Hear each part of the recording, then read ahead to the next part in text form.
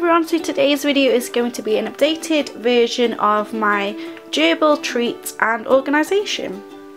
So this container is where I keep Chip's, treats and food but I have got a little bit that won't fit in just because it's just been Christmas. He did get a few new packets of treats and I like to clear out his treats regularly so throwing old treats, throwing treats that he's not too keen on and things like that. But all of the treats he currently has he really enjoys.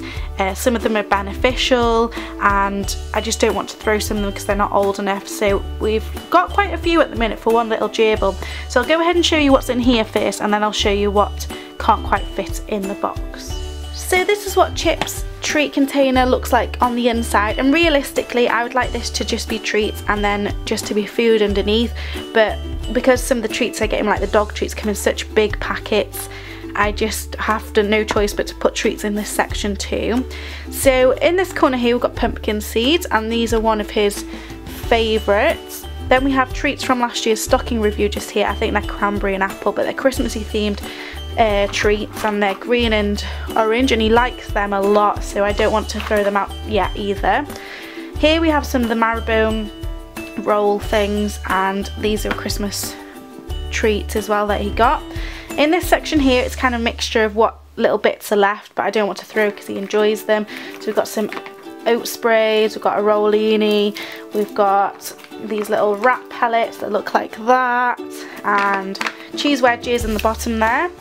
Just here we've got some milk bones and then over on this side now we've got some monkey nuts and these come in a big packet so I've got a lot of these and he loves those, those are another favourite. We've got some more of the marrowbone treats here. We've got some walnuts here, these are from last year and um, they've lasted a whole year. I've still got a lot of them left. He doesn't get them too often because they are quite fattening, but he really enjoys those.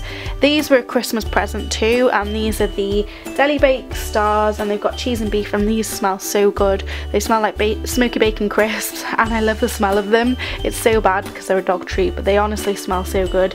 And then if I take these little compartments out, this is where I store his food, and I've actually gone back to the original mix that I do which is the WAG with some added little bits and you can see that in my gerbil video, gerbil diet video but um, I did change them onto different foods for a while just to try it out but they're harder to source so I just went back to my original mix because I was happy with it, happy with the contents and happy with how healthy it made him so I just thought it was worth sticking to it.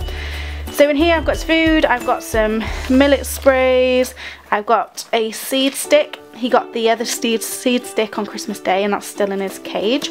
He's got a Pets at Home seed star. That was another Christmas present. And then on this side we've got the rest of the treats that don't fit in. So we've got walnuts, we've got monkey nuts and also we've got milk bones just in this corner. And then these are the items that don't quite fit into his treat and food box. So we've got the Fruity Munchies here from Wilkinson's and someone actually gave me those for the pets for Christmas. Then we've got some cheese bites. I like to keep these separate in their own packaging anyway because they keep fresh and these do say that you need to throw them out. I think it's after four weeks of first opening them. So I don't like to keep these with the rest of the treats. I like to keep them in their own bag and it's resealable so it works fine. Then we've got more marrowbone rolls. This was actually the bake, the stars, the deli bake stars packet, but I didn't know what to do with the rest of these. And there's such a strong smell on them that I don't want to mix them in with the rest of the treats. So I just put them in this bag because it's resealable. And then finally, one of his most favourite treats here, we've got a huge tub of dried mealworms, which are great for protein and he absolutely loves them. So that is my updated version of Chips Treat and Food Organisation. I hope you've enjoyed seeing it. And this tub is from the range if anyone wants to know. I always get questions on it because I think it, it makes quite a good small pet food and treats container so I always get questions on where I got it from. It's from the range. I don't know if they still sell it. I got it quite a long time ago so you'd have to check it out.